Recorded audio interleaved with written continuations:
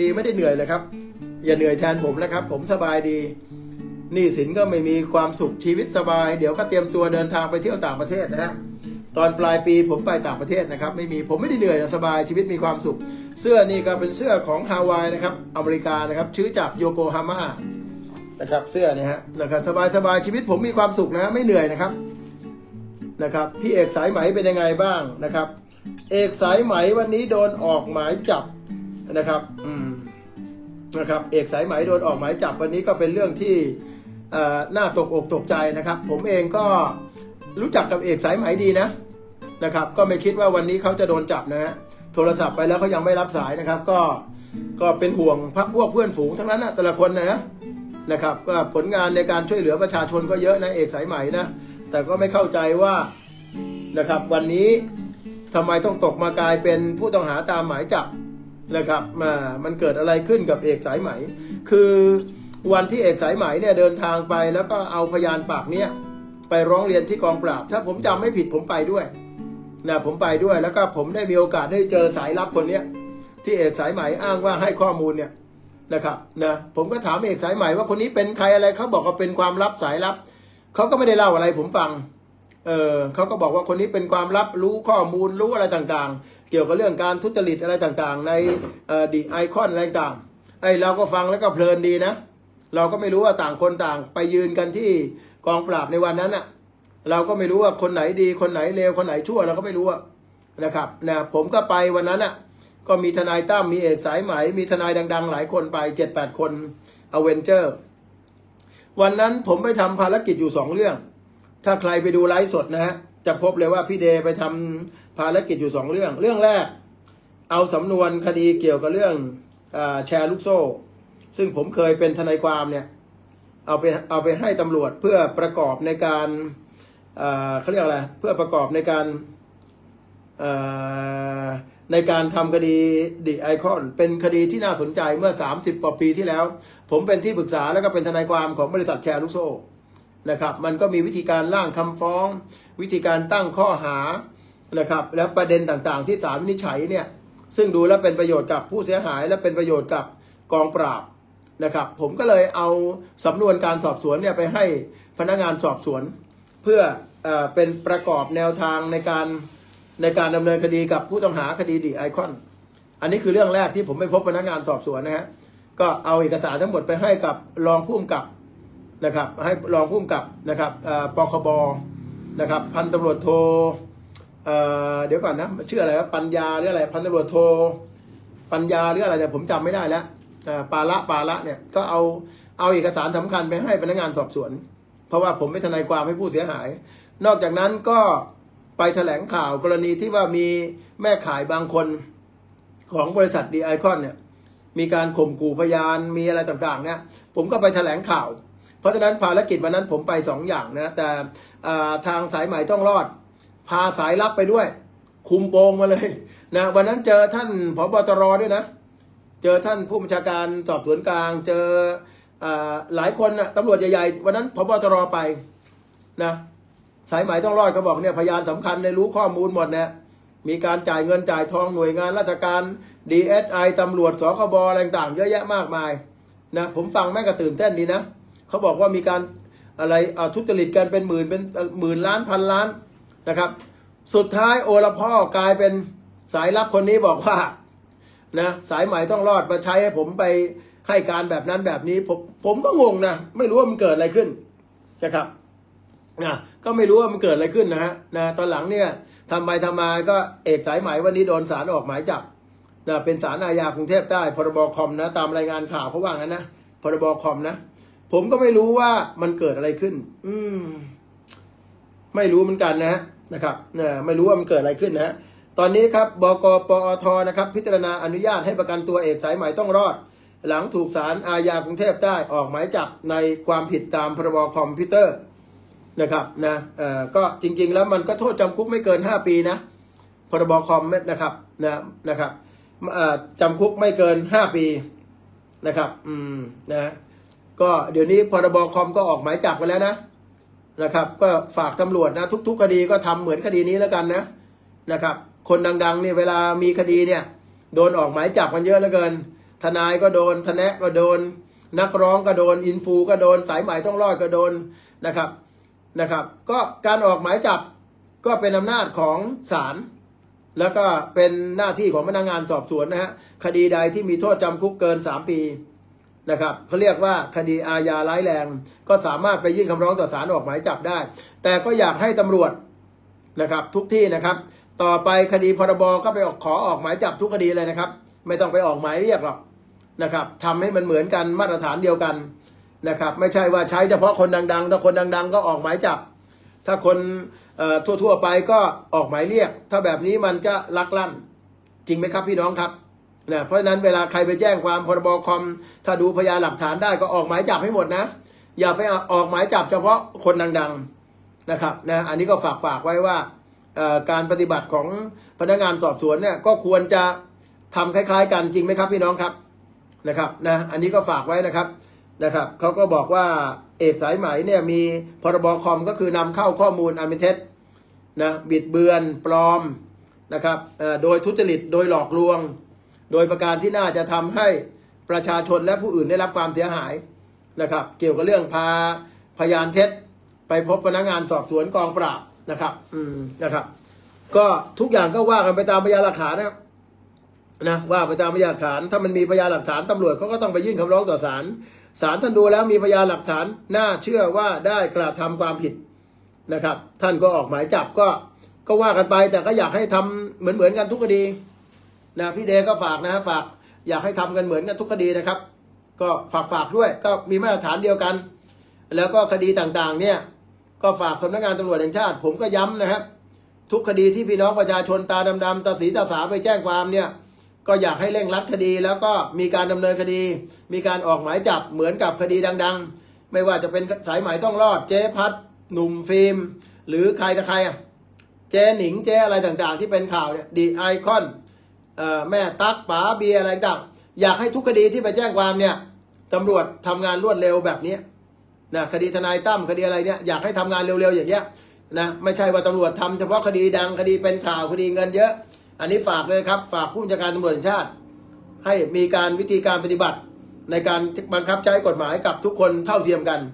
นะครับ แล้วให้มันรวดเร็วอะไรแบบนี้เหมือนกันน่ะมีหมายจับก็ไปจับ ไม่ใช่มีหมายจับก็ให้ผู้เสียหายเอาหมายจับไป หาทางสืบจับเอาเอง อันนี้ก็เป็นเรื่องที่ไม่ถูกต้อง จริงไหมครับพี่น้องครับ ใครเห็นด้วยกับพี่เดก็ช่วยกันแสดงความคิดเห็นนะช่วยกันแสดงความคิดเห็นก็มานะครับ ช่วยเลยครับ แสดงความคิดเห็นนะครับนะคุณเอกโดนหมายจับด้วนะครับ ใช่ครับนะครับนะเพราะนั้นก็ฝากนะครับ ให้ตำรวจทั่วประเทศนะครับทำงานให้รวดเร็วเหมือนกับคดีดัง ๆ ทุกคดีนะ ฝากด้วยครับนะอย่าเลือกปฏิบัตินะอย่าทำเฉพาะคดีที่เป็นข่าวหรือข่าวดัง จับกลุ่มให้เรียบรวดเร็ว หมายจับค้างเก่าอะไรต่างนะก็ก็ฝากตำรวจนะครับ เดี๋ยวพี่น้องประชาชนก็จะบอกว่า เอ๊ะถ้าไม่ดังไม่จับ แจ้งความไม่คืบหน้าตำรวจไม่ทำงานอะไรต่างนะฮะอยากให้มีมาตรฐานเดียวกัน พี่น้องคิดว่าอะไรนะครับ อืมนะนะครับ อันนี้ก็เป็นเรื่องของสายไหมต้องรอดนะครับ การเป็นนักร้องเป็นอะไรต่างๆ เนี่ย จะพาใครไปพบตำรวจพนักงานสอบสวนนี่ก็ต้องระวังนะ ผมเองเนี่ยไม่ใช่เป็นนักร้อง นะครับ เพราะฉะนั้นก็คงจะไม่มีคดีเหมือนกับคุณเอกสายไหม่ก็เป็นเขาเรียกอะไร เป็นนักวิจารณ์วิเคราะห์ชอบไลฟ์สดนะครับเนี่ยเพราะฉะนั้นก็จะให้ความรู้เป็นหลักนะก็คงจะไม่มีเรื่องอะไรต่างๆ เหล่านั้นนะครับนะเพราะฉะนั้นก็สบายใจได้พี่เดไม่มีอะไรแล้วครับ สบายๆนะครับ แค่นั้นเองนะก็ให้ความรู้กัน เพราะฉะนั้นก็นะพรบคอมเนี่ยมันต้องมีคำว่าทุจริตนะ ทุจริตคือแสวงหาประโยชน์ นะครับที่ม่ควรได้โดยชอบด้วยกฎหมาย ถ้าเพียงแต่นำเข้าข้อมูลไม่ผิดครับ ต้องมีวิธีการทุจริตนะครับหรือไม่ทุจริตหรือหลอกลวงกฎหมายเขียนไว้งั้นนะต้องมีการหลอกลวงได้ เช่น การหลอกลวงขายสินค้าอย่างเงี้ยนะหลอกลวงขายสินค้า หลอกลวงขายบริการนะเออเออหลอกลวงร่วมลงทุนอะไรเหล่านี้อย่างเงี้ยถึงจะมีความผิด มันต้องมีคำว่าทุจริตหรือหลอกลวง เราก็ไม่รู้ว่าสายไหมต้องรอดเนี่ยเขาไปทุจริตไปหลอกลวงยังไง ไปแสวงหาประโยชน์ยังไง ไปหลอกลวงประชาชนยังไง เราไม่รู้นะครับ อันนี้ต้องไปถามตำรวจ ก็รอตำรวจแถลงนะ เราจะได้รู้ว่ามันเกิดอะไรขึ้นนะครับนะ เข้าใจนะครับนะนำเข้าข้อมูลอย่างเดียวไม่ใช่ แล้วก็อย่างนะครับ ถ้าเป็นการนำเข้าข้อมูลเท็จบิดเบือน ถ้าเป็นคดีหมิ่นประมาทก็จะไม่ใช่พรบคอมนะครับ ถ้าเป็นพรบคอมก็จะไม่ใช่หมิ่นประมาท นะครับ เพราะนั้นถ้าหมิ่นประมาทก็คือหมิ่นประมาทพรบคอมก็พรบคอมนะครับ ในกฎหมายเขียนไว้ชัดนะนำเข้าข้อมูลเท็จนะเอ่อนะครับ ยกเว้นคดีหมิ่นประมาท แต่ถ้าใครหมิ่นประมาทเรา โดยการไลฟ์สด โดยการโพสต์ข้อความมันก็เป็นคดีหมิ่นประมาท ไม่ใช่พรบคอม เข้าใจนะอ่ามันต้องต้องเป็นอย่างใดอย่างหนึ่งนะครับ เป็นหมิ่นประมาทก็หมิ่นประมาท เป็นพรบคอมก็เป็นพรบคอม จะเป็นทั้งพรบคอม และเป็นทั้งหมิ่นประมาทไม่ได้ มีคำพิพากษาศาลฎีกาแล้วนะครับ เพราะฉะนั้นเวลาเราไปแจ้งความเนี่ย ถ้าคนหมิ่นประมาทเรานำข้อมูลเท็จก็หมิ่นประมาท แต่ถ้าคนเอ่อนำเข้าข้อมูลเท็จ โดยทุจริตโดยหลอกลวง ประชาชนได้รับความเสียหายข้อมูลเท็จ หน่วยงานราชการเสียหาย เช่นเอ่อนำเข้าข้อมูลเท็จว่าเนี่ย นะมิกเดี๋ยวผมดูนะครับว่าเขาเคยพูดอะไรไว้เรื่องสายไหมเนี่ย เดี๋ยวต้องขอดูนะ อืมนะฮะมันมันเรื่องมันเก่าแล้ว เดี๋ยวดูนะเดี๋ยวอยากนะ อืมเออนะครับ เดี๋ยวขอดูนะครับ เออสายไหมต้องรอด อืม แล้วก็อะไร พยานเท็จ เดี๋ยวลองดูนะครับ มันเป็นไงนะนะครับ มันเป็นเรื่องราวยังไงนะมันมันนานแล้วอืม เดี๋ยวเดี๋ยวดูนะ อืม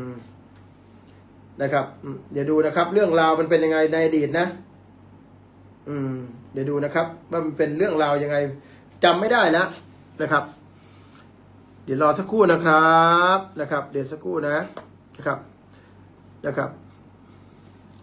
จากกรณีชุดสืบสวนได้มีการนัดนายเอกภพผู้ก่อตั้งเพจสายไหมมาให้ถ้อยคำตั้งแต่วันจันทร์และวันอังคารที่ผ่านมา แต่นายเอกภพอ้างว่าติดธุระ เดี๋ยวจะมามาพร้อมทนาย ซึ่งกรณีนายเอกภพเข้าข่ายความผิดเรื่องพรบคอมนะครับ อันนี้อันนี้เป็นรายงานข่าวจากที่ไหนวะเนี่ยเดี๋ยวดูก่อนนะ อืม จากไทยรัฐ อืมนะสำหรับพยานเท็จก็มีการเรียกมาสอบแล้ว แต่ทางบริษัทดีไอคอนไม่ติดใจดำเนินคดีกับพยานเท็จ จึงเหลือแต่เพียงแค่นายเอกภพคนเดียว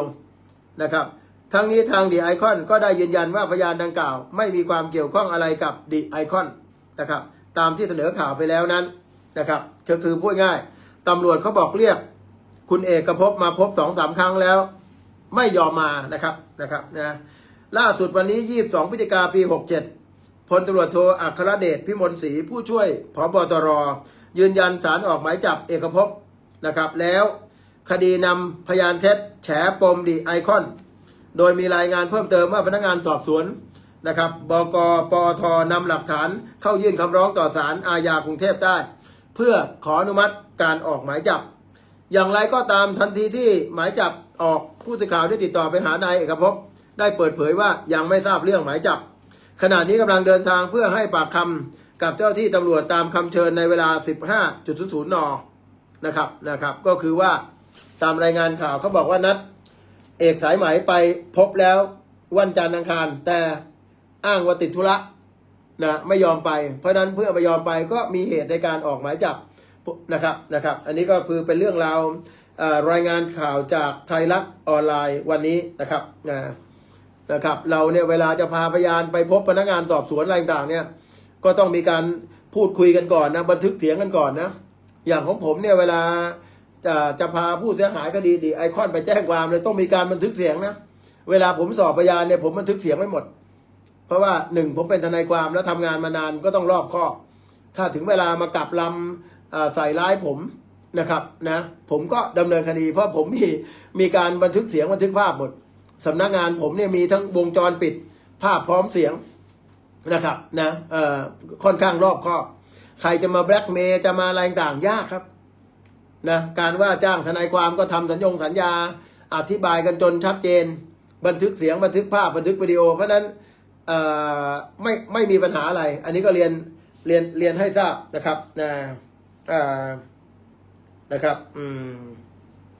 มีอะไรบ้างนะครับ อืมนะครับ ก็นะครับนี่นะฮะเอกสายไหมต้องรอดนะให้สัมภาษณ์หลังโดนออกหมายจับ เตรียมหลักทรัพย์ประกันตัวไปแล้ว รบคอมนี่น่าจะประกันตัวประมาณสี่หมื่นนะครับประมาณสี่หมื่นบาท แต่ถ้าเกิดว่าเป็นคดีพวกอ่าเขาเรียกอะไรนะเป็นคดีหมิ่นประมาทโดยการโฆษณาน่าจะหมื่นสองหมื่นนะครับ แต่ถ้าพรบพรบพรบคอมน่าจะสักสี่หมื่นประมาณนี้ครับ ไม่กี่ตังค์นะครับนะครับนะนะก็โดนพรบคอมกรณี โพสต์ข้อความเท็จในระบบเกี่ยวกับ เงินดิจิตอลของบริษัทดีไอคอนนะครับเนี่ยเนี่ยนี่เรื่องราวของเขานะ อืม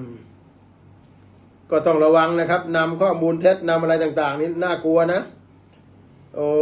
ยเวรกรรมจริงๆนะเนี่ย เนี่ย คนเรานะเนี่ย ต้องระวังนะฮะอืมเดี๋ยวดูนะครับ ข่าวเก่าๆมันเป็นยังไง อืม นะ พยานเท็จนะ นะครับ ต้องเวลาจะเอาพยานไปไปไปพบตำรวจอะไรต่างนี่ต้องเป็นพยานจริงนะนะนะครับ อืมนะครับ สวยนะครับ งานนี้นะ อืมนะครับ ก็ต้องระมัดระวังกันนะครับ อันนี้ก็เป็นเรื่องที่สำคัญนะครับ อยู่ในความสนใจของพี่น้องประชาชนครับนะครับอ่านะฮะนะครับ อันนี้ก็เป็นเรื่องของเอกเอกสายใหม่นะครับอ่าคดีที่มีโทษจำคุกเกินสามปีก็ออกหมายจับได้อ่า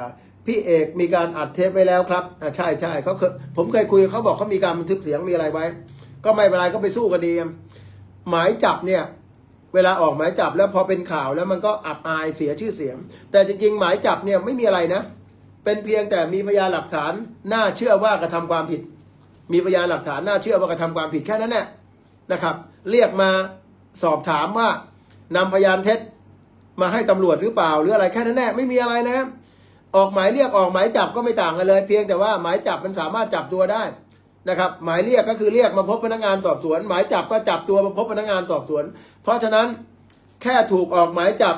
นะถูกออกหมายเรียกไม่ใช่คนผิดนะครับ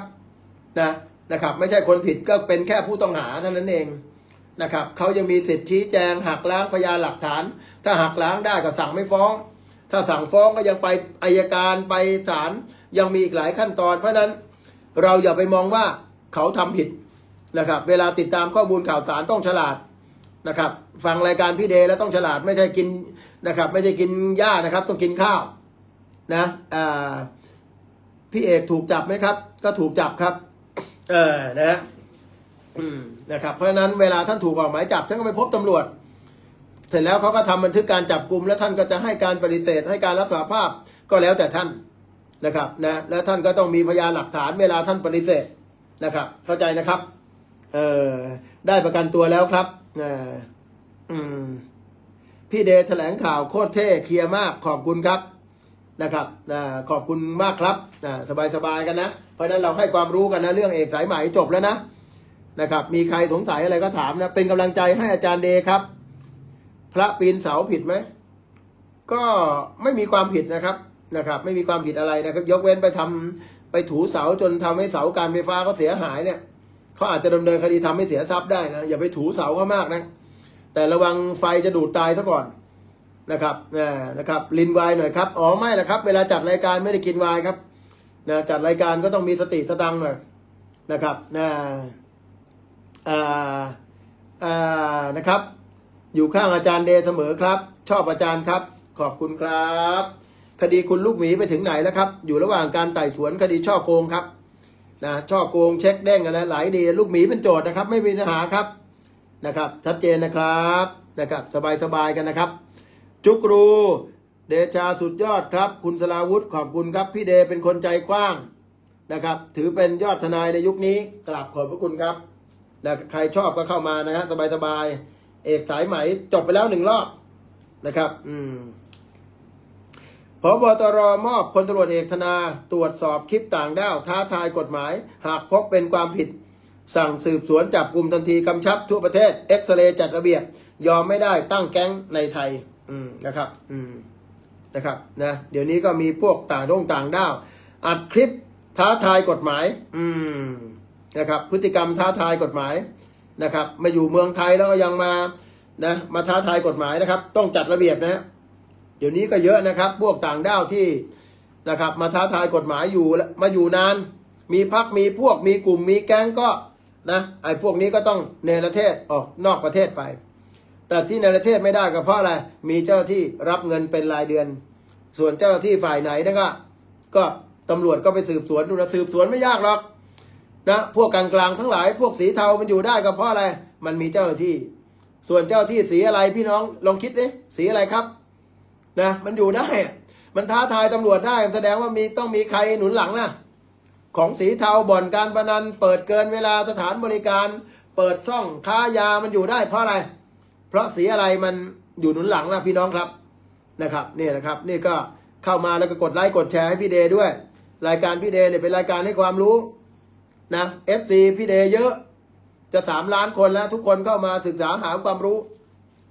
นะเพราะฟังพี่เดทุกคนเนี่ยฉลาดไม่โดนหลอกโดนโกงอะ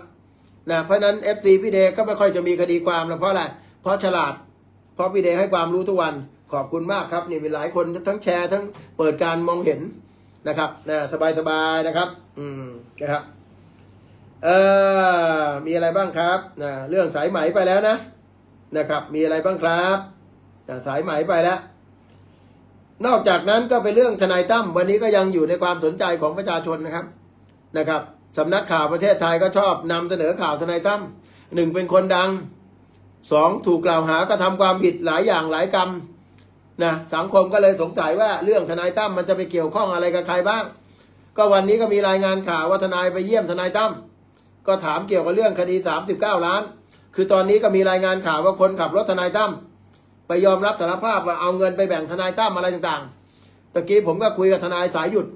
นะครับ ว่า เอ๊ะคนขับรถทนายตั้มนะเอาทำไมไปยอมรับสารภาพว่าเอาเงินไปให้ทนายตั้มอะไร 39 ล้านเนี่ย20ล้านอะไร เราก็ไม่รู้นะครับ ก็ว่ากันไปนะ สมมุติว่าทนายตั้มทำผิดก็ต้องติดคุกไปนะครับ อืมนะครับ ชีวิตมันก็มีแค่นั้นนะนะครับ แค่นั้นนะครับ ใครทำผิดก็ต้องติดคุก ทนายตั้มทำผิดก็ติดคุก ไม่มีใครช่วยได้ ถ้าพยานหลักฐานมันชัดเจน มันไม่เกี่ยวกับใครทั้งนั้นนะคดีทนายตั้มเนี่ย ผมได้คุยกับแหล่งข่าวใกล้ชิดตำรวจเขาบอกว่า พยานหลักฐานมันค่อนข้างพอสมควร เพราะฉะนั้นถ้าหลักฐานมันชัดเจนไม่มีช่องว่างในการสู้คดีตั้มก็ต้องติดคุก แต่ถ้าเกิดพยานหลักฐานมันไม่ชัดตั้มก็มีหนทางในการสู้คดี ก็เหมือนกับผู้ต้องหาทั่วๆไป ถามพี่เดจะไปช่วยอะไรพี่ตั้มเลยไม่มีหรอกแค่เราเป็นเพื่อนกัน เราก็ยังเป็นเพื่อนเหมือนเดิมนะครับ แค่นั้นแหละ แล้วก็เสร็จแล้วก็การสู้คดีก็มีทนายสายหยุดเป็นคนดูแลอยู่แล้วนะครับเพราะนั้นมันขึ้นกับพยานหลักฐานว่ามันชัดไหมถ้าชัดไปช่อโกงเขาก็ติดคุก แต่ถ้าไม่ชัดมีช่องทางสู้คดีได้ก็สู้ จะสู้แบบไหนก็ขึ้นอยู่กับพยานหลักฐาน อันนี้ก็แล้วแต่ทนายตั้มนะผมเองก็เป็นเพื่อนฝูงกันก็แค่เป็นกำลังใจนะครับ ส่วนถ้าเขาทำผิดจริงก็ไม่รอด มันอยู่ที่พยานหลักฐานไม่ได้อยู่ที่ใครนะครับนะครับ นะพยานหลักฐานชัดก็ไม่รอด แต่ถ้าไม่ชัด มโนแบบนั้นแบบนี้มันก็มีช่องว่างในการต่อสู้คดีนะครับนะ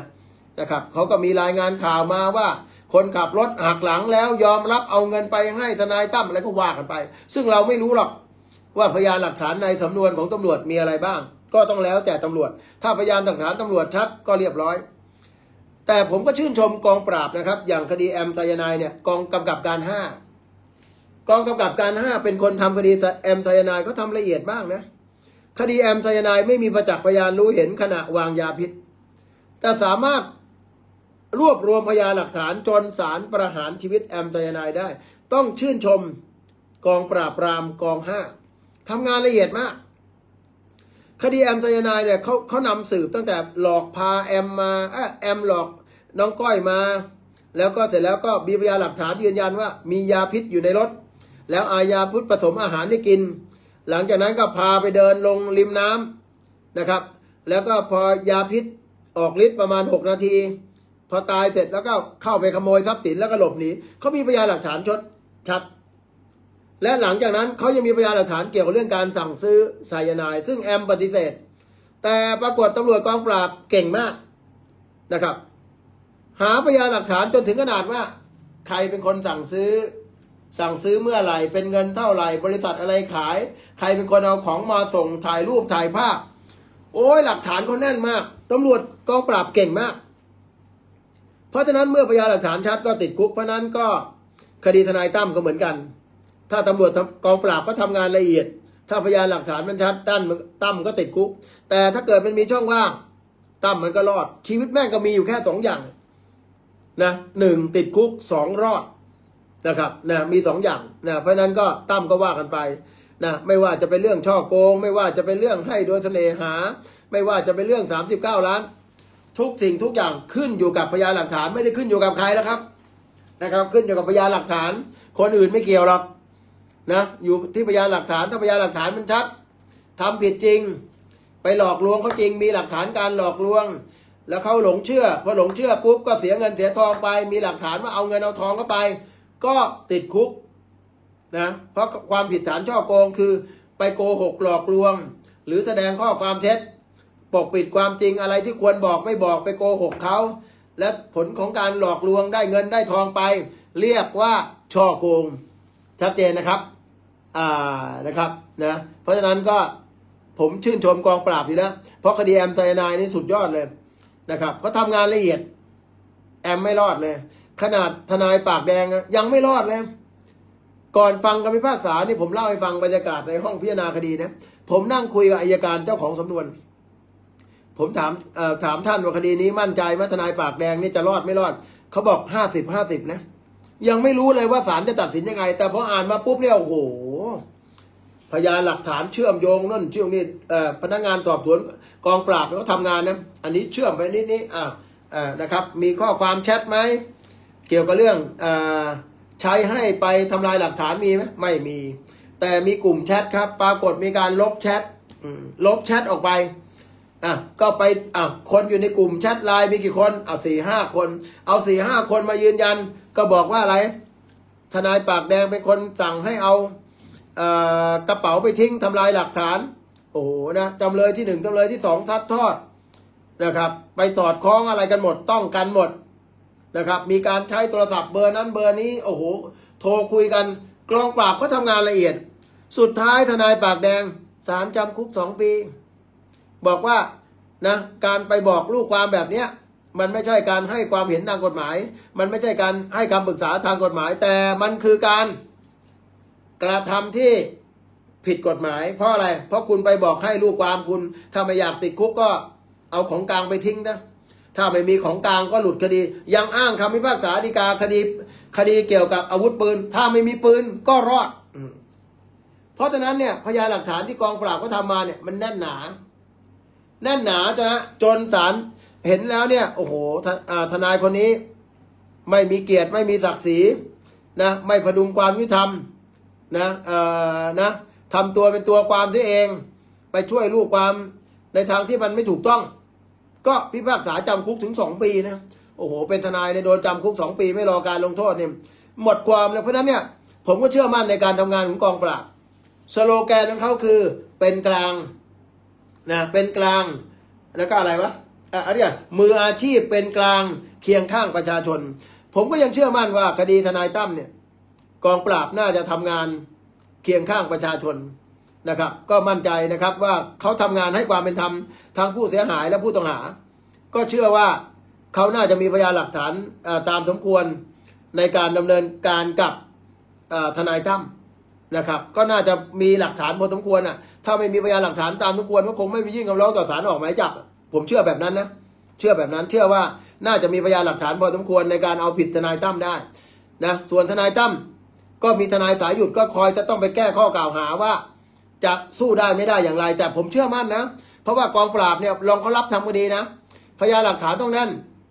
ดังถ้าเขาไม่แน่นเนี่ยเขาคงไม่กล้าไปยื่นคำร้องต่อศาลออกหมายจับทนายตั้มพี่น้องคิดอย่างไรอะคิดเหมือนผมไหม